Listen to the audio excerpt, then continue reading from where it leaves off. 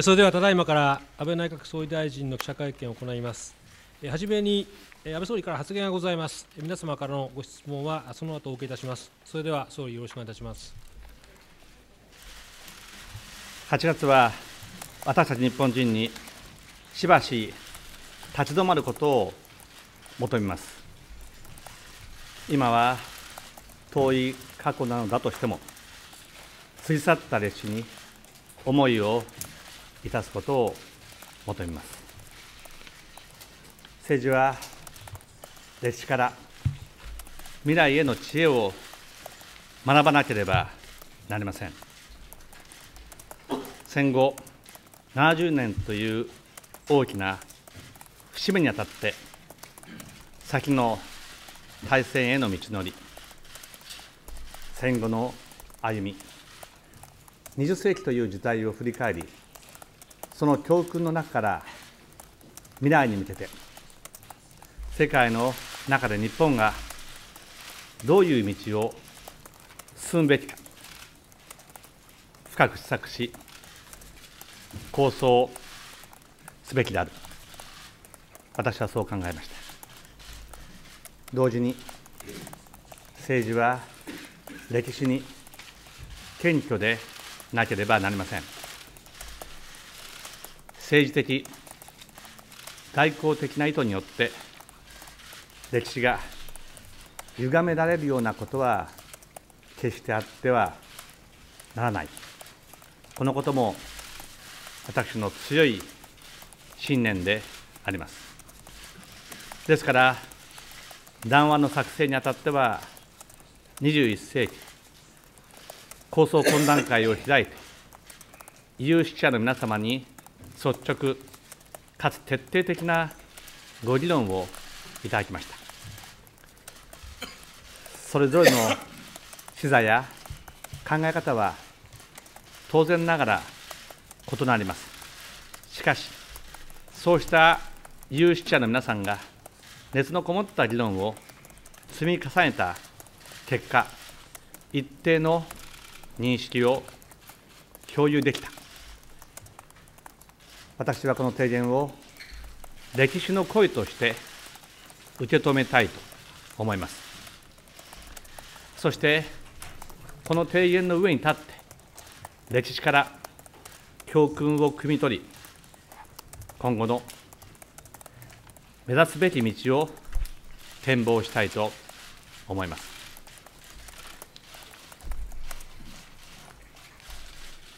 100年以上前の世界には、西洋諸国を中心とした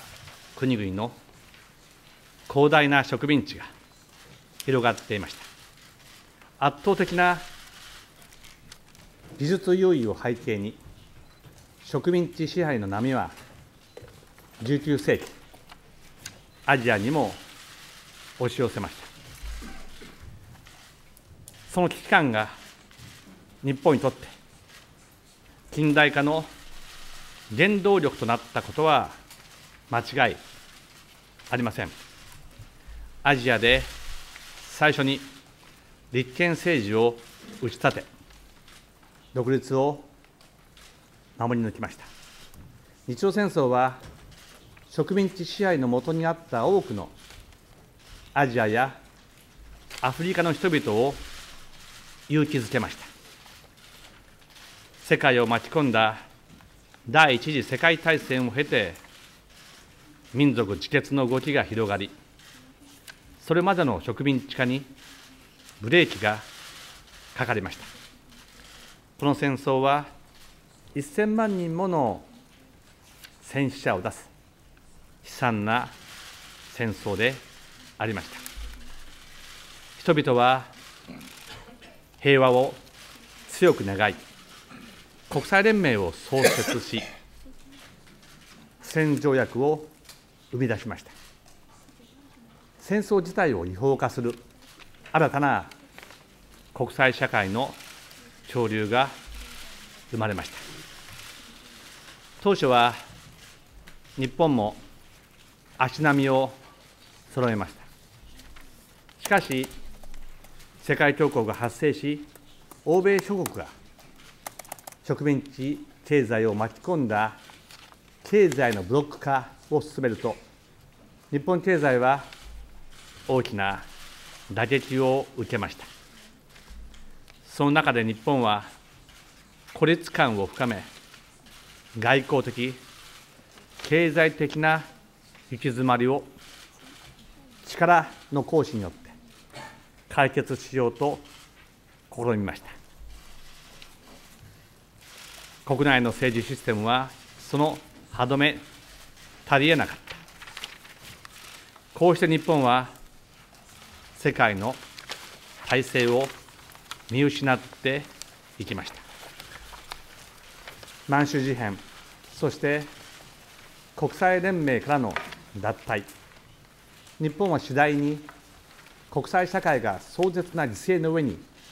築こうとした新しい国際秩序への挑戦者となっていった。進むべき進路を誤り戦争への道を進んでいきました。そして70年前日本は敗戦しました。戦後70年にあたり国内外に倒れた。すべての人々の命の前に深く神戸を垂れ通積の念を表すとともに英語の哀悼の誠を捧げます。先の大戦では300万余の同胞の命が失われました。祖国の行く末を案じ家族の幸せを願いながら先人に散った方々。終戦後国間のあるいは灼熱の遠い一票の地にあって飢えや病に苦しみ亡くなられた方々。広島や長崎での原爆投下東京をはじめ 各都市での爆撃。沖縄における地上戦などによってたくさんの生の人々が無残にも犠牲となりました。戦火を交えた国々でも将来ある若者たちの命が数知れず失われました。中国東南アジア太平洋の島々など戦場となった地域では戦闘のみならず食糧難などにより多くの向こうの民が苦しみ犠牲となりました。戦場の陰には深く名誉と尊厳を傷つけられた女性たちがいたことも忘れてはなりません。何の罪もない人々に計り知れない損害と苦痛を我が国が与えた事実。歴史とは実に取り返しのつかない苛烈なものです。一人一人にそれぞれの人生があり夢があり愛する家族があった。この当然の事実をかみしめるとき今なお言葉を失いただただ断腸の念を禁じえません。これほどまでの尊い犠牲の上に現在の平和がある。これが戦後日本の原点であります。二度と戦争の惨禍を繰り返してはならない。事変侵略戦争いかなる武力の威嚇や行使も国際紛争を解決する手段としてはもう二度と用いてはならない。植民地支配から永遠に決別しすべての民族の自決の権利が尊重される世界にしなければならない。先の大戦への深い介護の念とともに我が国はそう誓いました。自由で民主的な国を作り上げ法の支配を重んじひたすら不戦の誓いを堅持してまいりました。70年間に及ぶ平和国家としての歩みに私たちは静かな誇りを抱きながらこの不動の方針をこれからも貫いてまいります。我が国は先の大戦における行いについて繰り返し痛切な反省と心からのお詫びの気持ちを表明してきました。その思いを実際の行動で示すためインドネシアフィリピンはじめ東南アジアの国々台湾韓国中国など隣人であるアジアの人々が歩んできた苦難の歴史を胸に刻み戦後一貫してその平和と繁栄のために力を尽くしてきました。こうした歴代内閣の立場は今後も揺るぎないものであります。ただ私たちがいかなる努力を尽くそうとも家族を失った方々の悲しみ戦火によって途端の苦しみを味わった人々のつらい記憶はこれからも決して言えることはないでしょう。ですから私たちは心に留めなければなりません。戦後600万人を超える引き上げ者が太平洋の各地から無事帰還でき日本再建の原動力となった事実を中国に置き去りにされた3000人近い日本人の子どもたちが無事成長し再び祖国の土を踏むことができた事実を。米国や英国オランダ豪州などの元捕虜の皆さんが長年にわたり日本を訪れ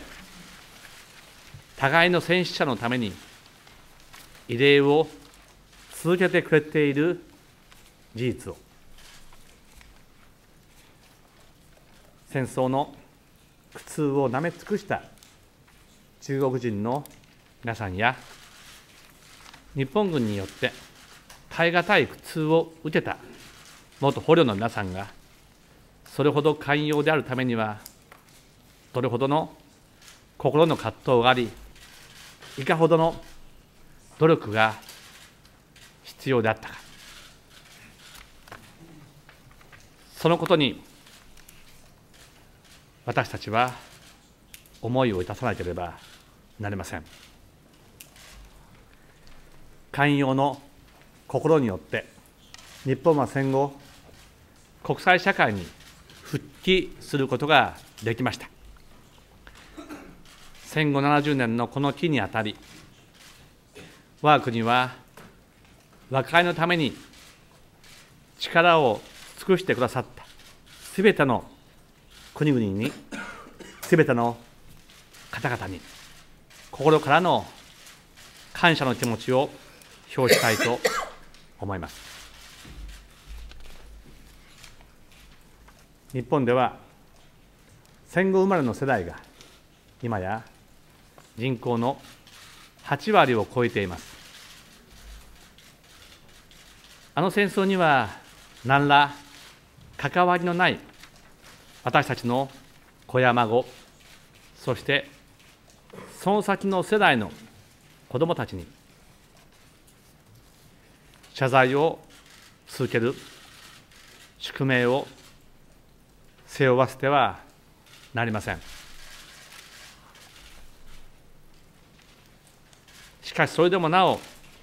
私たち日本人は世代を超えて過去の歴史に真正面から向き合わなければなりません。謙虚な気持ちで過去を受け継ぎ未来へとき渡す。責任があります。私たちの親。そのまた親の世代が。戦後の焼け野原。貧しさのどん底の中で。命をつなぐことができた。そして現在の私たちの世代。さらに次の世代へと未来をつないでいくことができる。それは先人たちの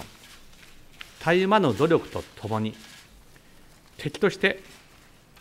熾烈に戦った米国豪州欧州諸国をはじめ本当にたくさんの国々から恩衆を超えて善意と支援の手が差し伸べられたおかげであります。そのことを私たちは未来へと語り継いでいかなければならない。歴史の教訓を深く胸に刻みより良い未来を切り開いていく。アジアそして世界の平和と繁栄に力を尽くすその大きな責任があります。私たちは自らの行き詰まりを力によって打開しようとした過去をこの胸に刻み続けます。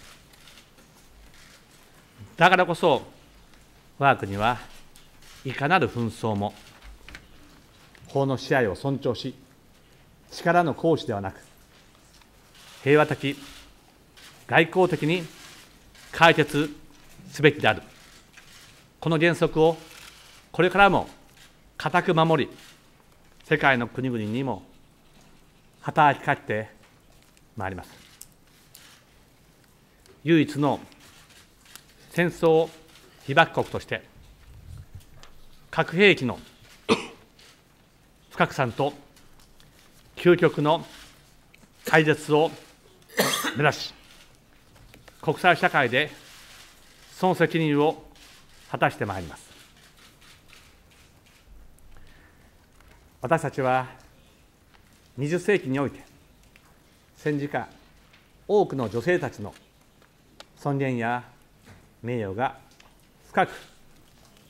傷つけられた過去をこの胸に刻み続けます。だからこそ我が国はそうした女性たちの心に寄り添い常に寄り添う国でありたい。21世紀こそ女性の人権が傷つけられることのない世紀とするため世界をリードしてまいります。私たちは経済のブロック化が紛争の芽を育てた過去をこの胸に刻み続けます。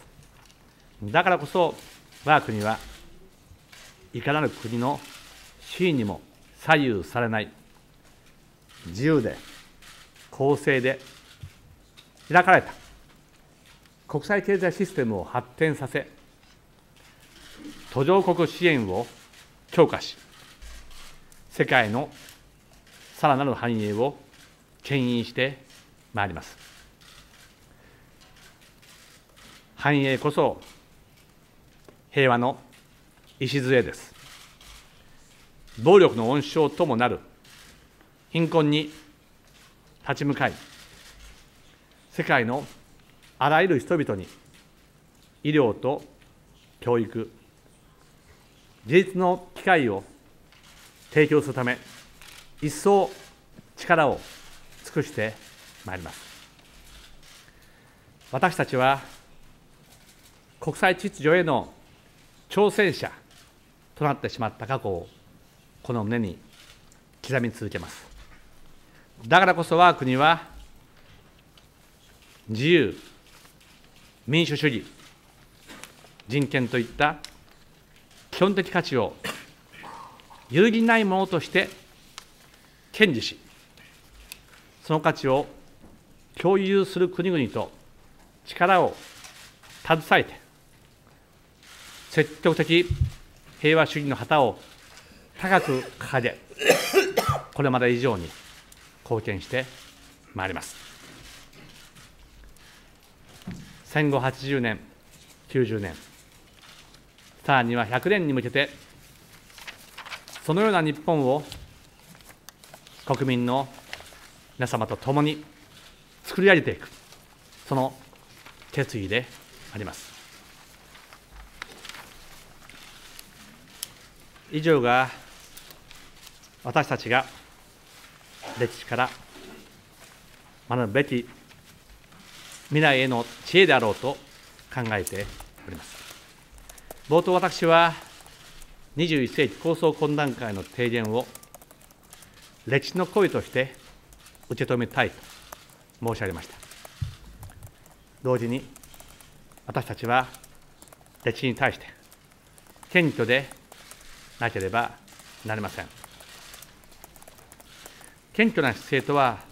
果たして聞き漏らした声が他にも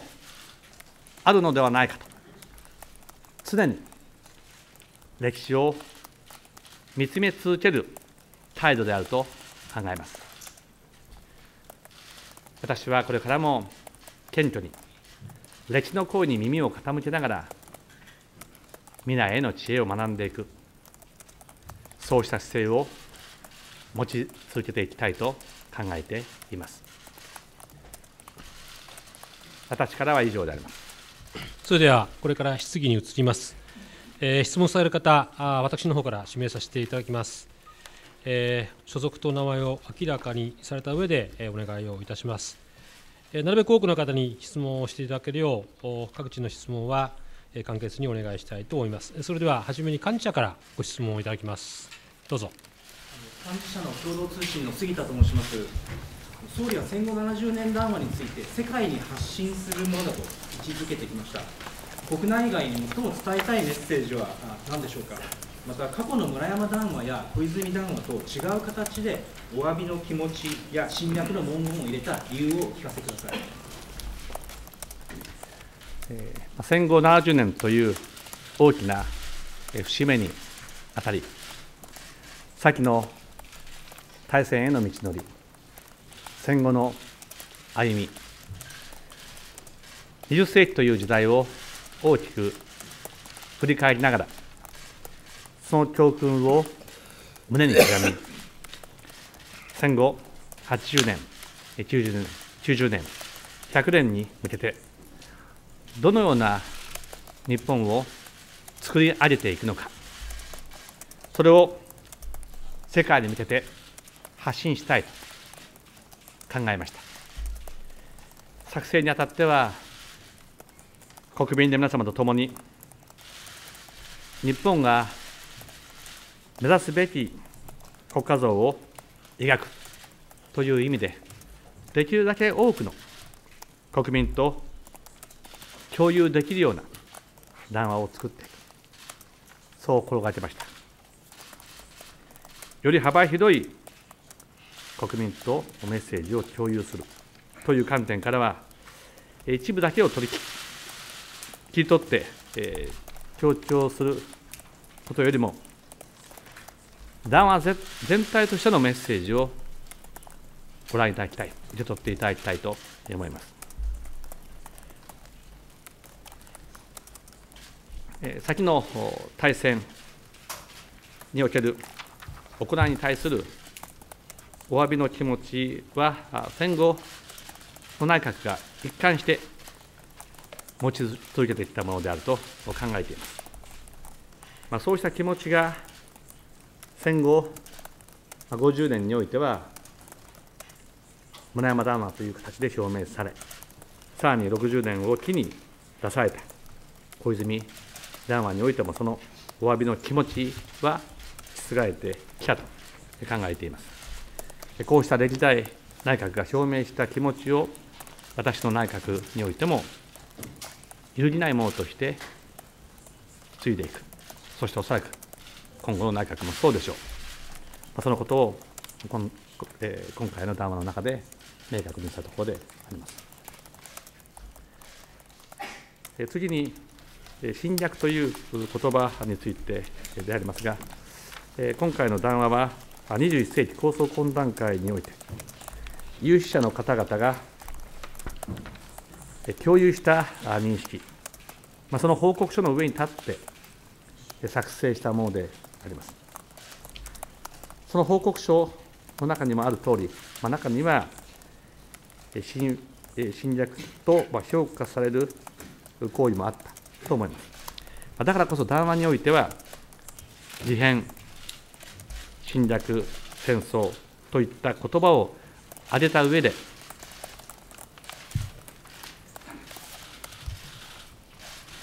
事変、侵略、戦争という言葉を挙げながら、いかなる武力の威嚇や行使も、国際紛争を解決する手段としては、もう二度と用いてはならない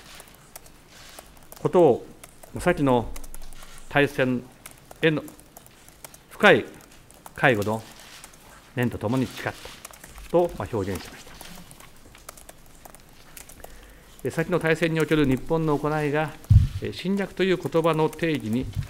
当てはまればだめだダメだが、当てはまらなければ許されるというものではありません。かつて日本は世界の体制を見失い、外交的、経済的な行き詰まりを力の行使によって打開し、あるいはその勢力を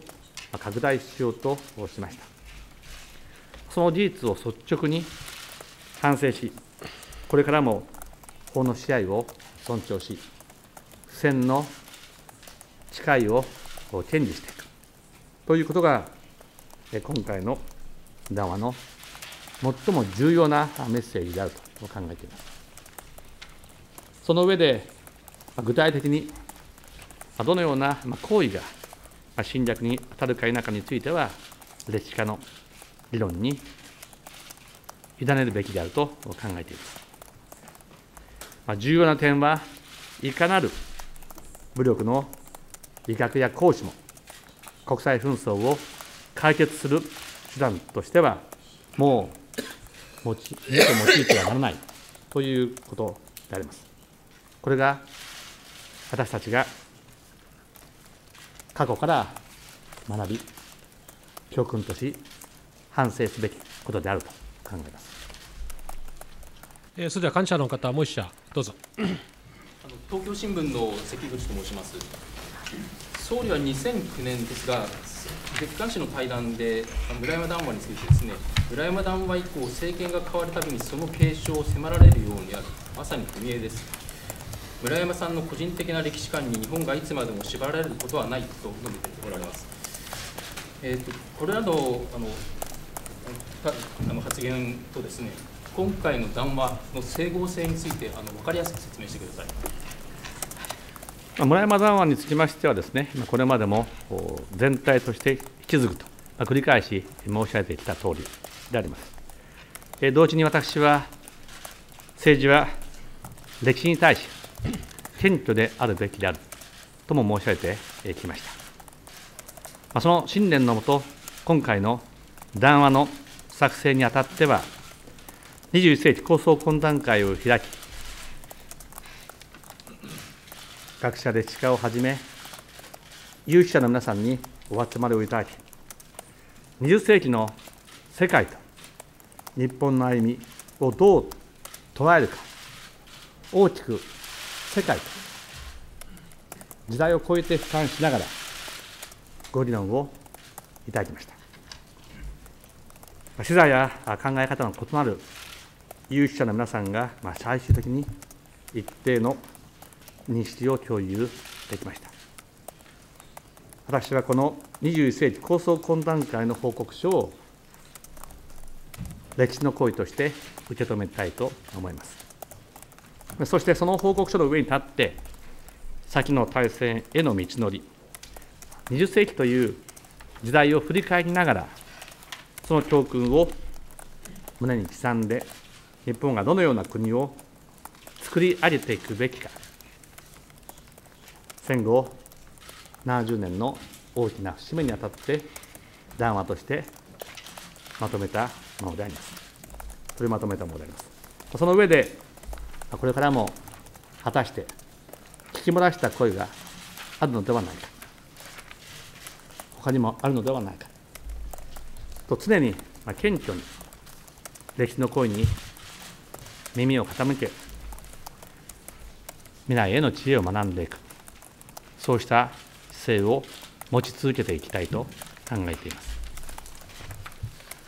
これからはあの幹事社以外の方のご質問をお受けしますので、ご希望される方は挙手をお願いします。私が指名いたします。えー、再度、自らのお名前と社名を明らかにした上でお願いします。堀さん。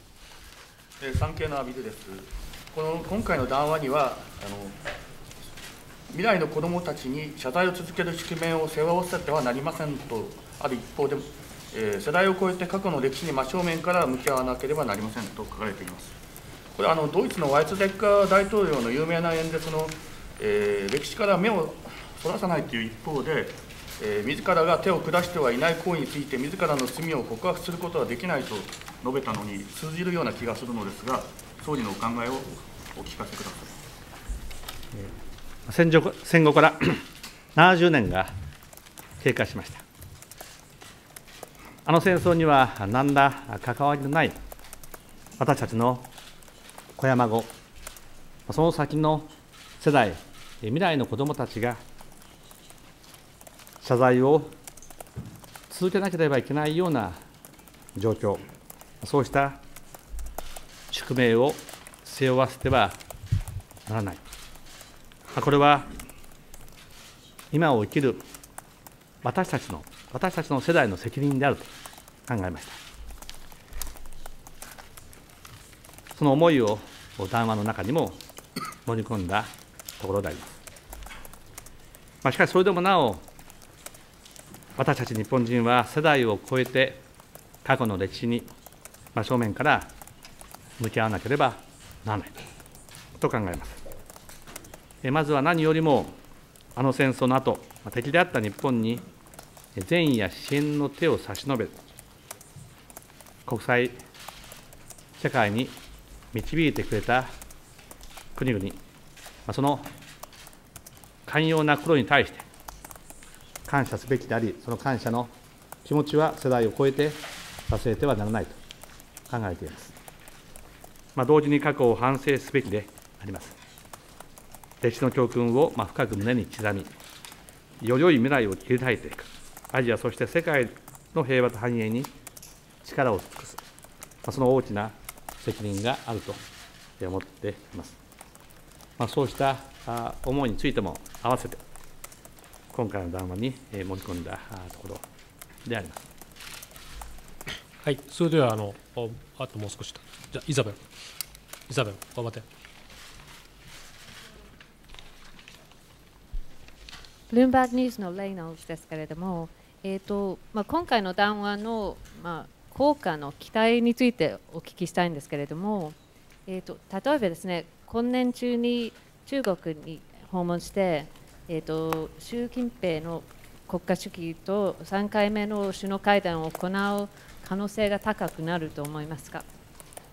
そして、えーと、今のタイミングですけれども大変中国の経済後退が懸念されているところですけれどもその中での談話のインパクトがあの薄れる可能性はあると思いますでしょうか？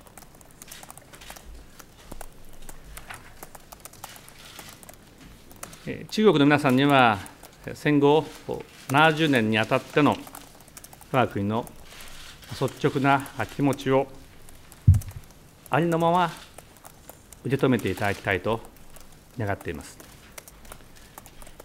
中国とは習近平国家主席との2度にわたる首脳会談を通じて、